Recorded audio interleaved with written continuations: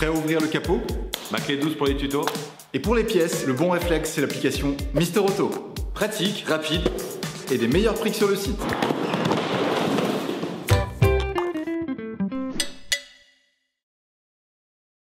Pour cette opération, munis-toi du filtre d'habitacle Cabinet Pas Plus, que tu peux retrouver dans la description de la vidéo.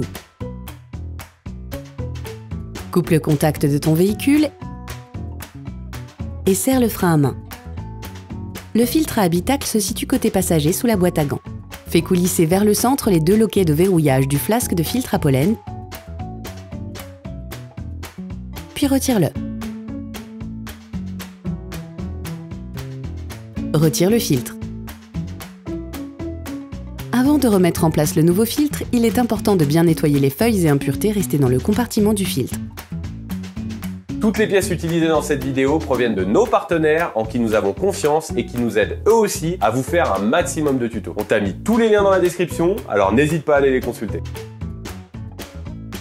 Sors le filtre de son rack. Il existe trois types de filtres d'habitacle.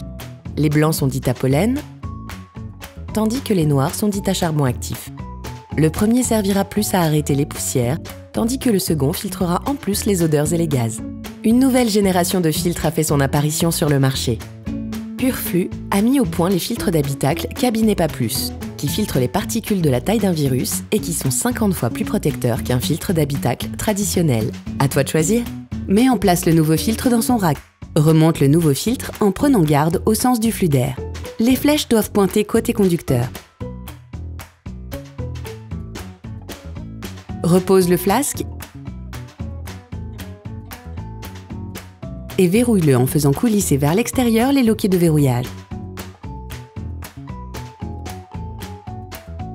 Opération terminée Salut, c'est Théo de ma clé 12. Bon, vous êtes seulement 6,7%. non, sérieusement, on a besoin de toi pour faire rayonner la chaîne. Il suffit simplement que tu mettes un like sur la vidéo, tu laisses un commentaire et surtout, s'il te plaît, tu t'abonnes. Tu peux pas t'imaginer comment ça va nous aider. Ça va nous permettre de produire encore plus de tutoriels et d'aider encore plus de monde. Allez, bisous. C'est